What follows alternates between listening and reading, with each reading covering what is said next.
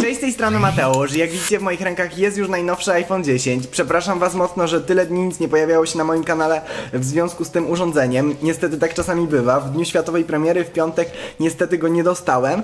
Później się samo nagrywanie też przeciągnęło i tak oto wylądowaliśmy w dzisiejszym filmie. Także od dziś postaram się wam wynagrodzić ten stracony czas fajnymi filmami. Znaczy myślę, że będą fajne, wy oczywiście ocenicie. Mam kilka pomysłów w głowie, ba niektóre już są nawet zrealizowane. Więc aby nie przegapić żadnego nowego materiału, zachęcam was gorąco do subskrypcji mojego kanału, a my przechodzimy do moich pierwszych wrażeń i opinii na temat iPhone'a X, znaczy się iPhone'a 10. Nie wolno mówić X, podobno Apple blokuje telefony użytkowników, którzy tak powiedzieli, tę pierwszą nazwę. Także przed wami iPhone 10.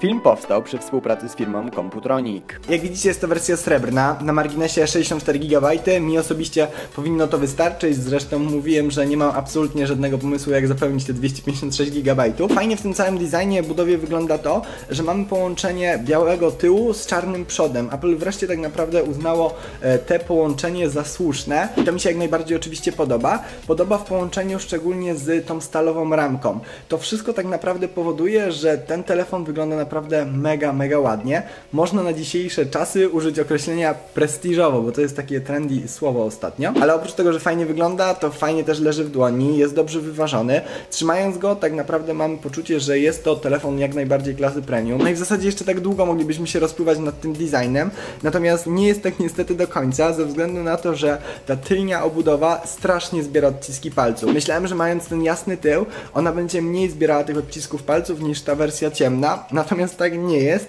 żeby ten telefon wyglądał fajnie, tak jak w przypadku na przykład iPhone'a 8, trzeba go co jakiś czas, kilka razy na dzień wyczyścić. Powiem wam, że ten wystający aparat mi nawet tak nie przeszkadza jak to zabrudzanie. Oczywiście fajnie by było jakby Apple to schowało. Tak się nie stało, więc mamy co mamy. Możemy poczekać na następną generację, może się im uda wreszcie schować te aparaty do środka. Powiedziałem trochę o budowie, designie, ale pominąłem ekran. Pominąłem go e, specjalnie, bo chciałem po prostu powiedzieć kilka słów osobno.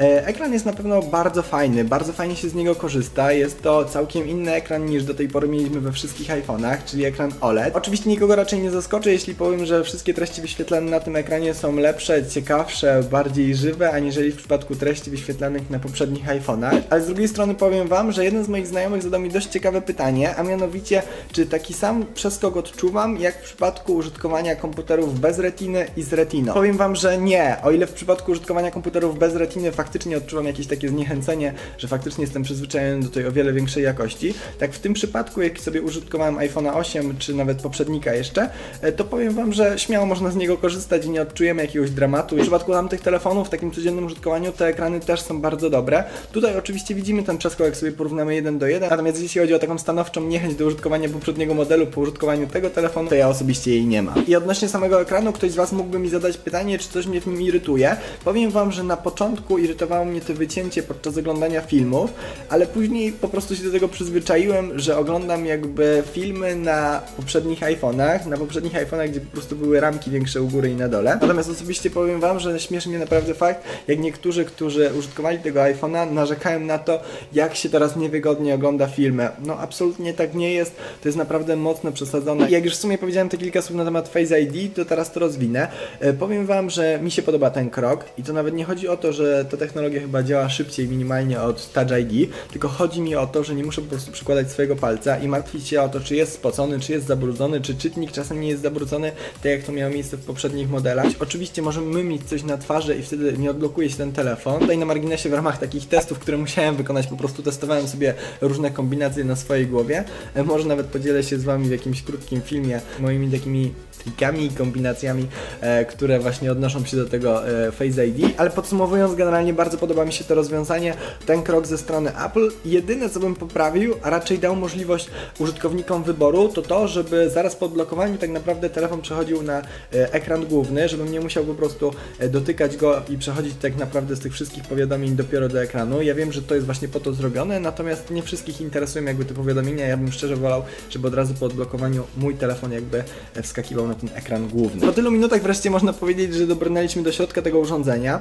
Powiem Wam, że jest piekielnie szybki. Nie wiem, czy to jest moje odczucie względem tego, że mam wrażenie, wrażenie, że tutaj iOS ma mniej błędów aniżeli na poprzednich modelach. Może to będzie nawet zbyt odważne stwierdzenie z mojej strony, ale mam wrażenie, jakby Apple celowo troszeczkę zwolniło iOS-a na innych telefonach, aby konsumenci albo osoby, które już kupiły nowego iPhone'a odczuły naprawdę fajne przyspieszenie. Co do samego systemu, a raczej jego obsługi, powiem wam, że chwilę mi zajęło, aż przyzwyczaiłem się po prostu do tych nowych gestów, dzięki którym możemy się tak naprawdę poruszać po nowym iPhone'ie, przez to, że nie ma przycisku Home. E, niestety cały czas został taki nawyk, taki odruch, aby ten palec wędrował na miejsce Home'a. Pewnie jeszcze chwilę, kilka dni, może kilkanaście zajmie mi to, aż się pozbędę po prostu tego odruchu.